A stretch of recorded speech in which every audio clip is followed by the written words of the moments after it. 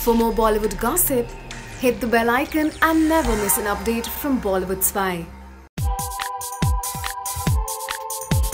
Social सागाज और patriotic films के लिए जाने जाने वाले अक्षय कुमार इस साल 15 अगस्त को बॉक्स ऑफ़िस पर फ़िल्म गोल्ड के साथ दस्तक देने जा रहे हैं, जहाँ फ़िल्म की प्री रिलीज़ बस को देखते हुए इस बात का अंदाज़ा लगाया जा सकता है कि ये फ़िल्म अक्षय कुमार की सफल फ़िल्मों की लिस्ट में अपनी जगह बनाने जा रही है। वहीं एक नज़र उन पाँच रीजन पर भी डालते हैं, जो इस फ़िल्म को एक मस्ट वॉच बनाती है।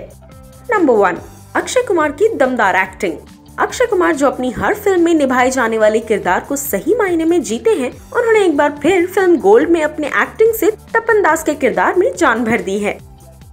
नंबर टू फ़िल्म की कहानी। वैसे तो अक्षय कुमार की हर फ़िल्म में कंटेंट को ही सबसे ज़्यादा प्रायोरिटी दी जाती है। अब ऐसे में फ़िल्म गोल्ड में भी कंटेंट पर ही ज़्यादा ध्यान दिया गया है। नंबर थ्री मोनी रॉय का debut television actress Mouni Roy छोटे पर्दे पर अपना जलवा बिखेरने के बाद अब फ़िल्म गोल्ड से बड़े पर्दे पर डेब्यू करने जा रही हैं, और वो भी अक्षय कुमार के ऑपोजिट नंबर फोर दमदार डायलॉग्स फ़िल्म के डायलॉग्स दमदार होने वाले हैं। इस बात का अंदाज़ा तो फ़िल्म की टीजर और ट्रेलर से ही लगाया जा सकता है। नंबर फाइव देशभक्ति की भावना.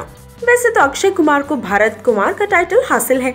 और अब रीमा काकती के निर्देशन में बनी इस फ़िल्म में भी दर्शकों को देशभक्ति की भावना देखने को मिलेगी।